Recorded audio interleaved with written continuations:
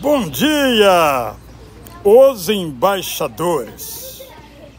Somos embaixadores em nome de Cristo, como se Deus exortasse por meio de nós.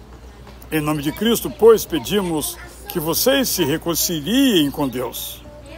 Foi por meio do nosso Senhor Jesus Cristo que recebemos agora a reconciliação.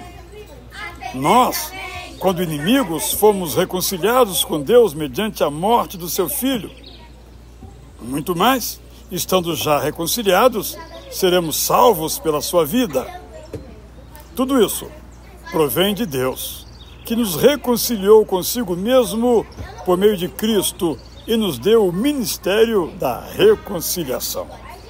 Deus estava em Cristo, reconciliando consigo o mundo não levando em conta os pecados dos seres humanos e nos confiando a palavra da reconciliação.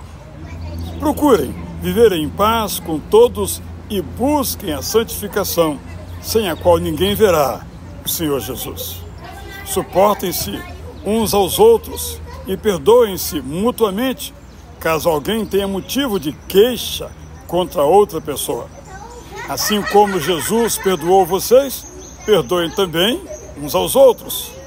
Sejam bondosos e compassivos uns para com os outros, perdoando uns aos outros, como também Deus em Cristo perdoou vocês. Eu li 2 Coríntios 5:20, Romanos 5:11, 2 Coríntios 5:18 e 19, Romanos 5 e 10, Hebreus 12:14, Colossenses 13, 3 e Efésios 4, 32. E termino lendo Lucas 23, 34. Jesus dizia: Pai, perdoa-lhes, porque não sabem o que fazem. Um bom dia de muita reconciliação para você. É o meu desejo aqui, desejo do Israel Belo de Azevedo. Bom dia!